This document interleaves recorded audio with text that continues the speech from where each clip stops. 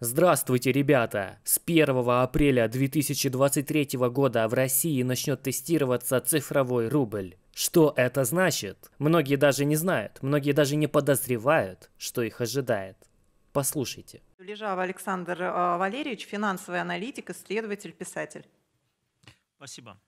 С 1 апреля этого года Банк России запускает тестирование цифрового рубля. Закон о цифровом рубле был внесен в Государственную Думу в конце прошлого года и уже прошел первое чтение. Чем э, опасен для всех нас цифровой рубль? Тем, что в отличие от современных используемых сейчас наличных и безналичных рублей, он программируем. Его можно запрограммировать по срокам, по направлениям использования и по самым разным вещам. Кроме того, он, э, как планируется, должен полностью заменить как наличные, так и безналичные расчеты на сегодняшний день. Банк России презентует его как э, некий, э, как некую цифровую наличность, поскольку каждый из них имеет свой номер и может быть запрограммируем, как я сказал. Значит, о чем это говорит? О том, что фактически Центральный банк будет обладать всей полнотой информации о каждом из нас, финансовой информации, поскольку все счета в цифровых рублях будут не в коммерческих банках, а непосредственно в Банке России. И э, люди, у кого есть разные счета в различных банках на сегодняшний день, э, фактически будут сведены к одному счету, который будет в ЦБ. Соответственно, все операции находятся под контролем и могут управляться по произволу теми, кто контролирует эти счета. Это может быть как а, чисто по каким-то техническим моментам, так и, если будет внедрен искусственный интеллект, а, вообще на автоматизированном, а, на автоматизированном уровне. Есть ли какие-либо плюсы для нас как пользователей? Цифровой рубль характерен тем, что необходимо сложное оборудование для того, чтобы можно было проводить расчеты. Это может быть смартфон, э, компьютер или что-то иное. Необходимо электричество и необходимы линии связи. Если какой-то из этих элементов отсутствует, провести расчеты вы не сможете.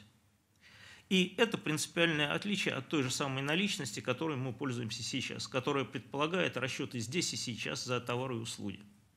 Если э, наличность будет ликвидирована полностью, рассчитаться при отсутствии одного из этих элементов вы не сможете. Соответственно, если происходит какой-то технологический сбой, э, какие-то э, ошибки и так далее, вы можете вообще потерять свой счет в Центральном банке. Формально сказано, что он несет за это ответственность, должен обеспечивать безопасность информации, доступ. Но как человек, которому приходилось с Центральным банком общаться, от лица коммерческих банков, шансы даже у коммерческих банков в этом общении крайне невысоки. Если речь заходит о физических лицах, то я бы сказал, что это будет близко к нулю. Добиться э, восстановления счета, особенно если он будет э, по каким-либо причинам приостановлен или э, изъят по решению искусственного интеллекта, будет вообще невозможно.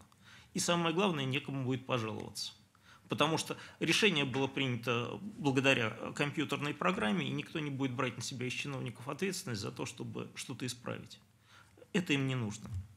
Следующий момент, не менее важный. Э, повлияет ли это как-то на инфляцию, которая является бедой любой необеспеченной валюты? А, вне зависимости от того, в какой форме, в цифровой, в наличной или безналичной он существует. Нет, не, э, это никак не изменит ситуацию.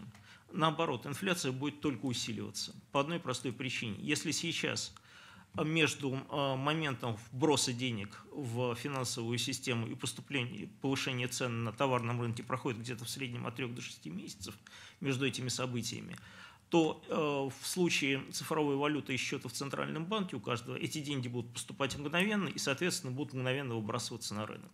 Это будет приводить только к росту цен. А следующий момент – социально, а, скорее уже из социальной сферы. А, ликвидация, фактически произойдет ликвидация коммерческих банков как таковых. Потому что, имея счета в Центральном банке, коммерческие банки как посредники становятся не нужны. возможности для того, чтобы что-то накопить, сэкономить, э, сохранить, у вас не будет. Ведь у цифровой валюты есть ограниченный срок действия. Можно всегда поставить. И это один из ключевых элементов. Поскольку у меня осталось совсем мало времени, я бы хотел сказать следующее. В Соединенных Штатах в Конгресс был внесен недавно проект закона о запрете ЦВЦБ слежки.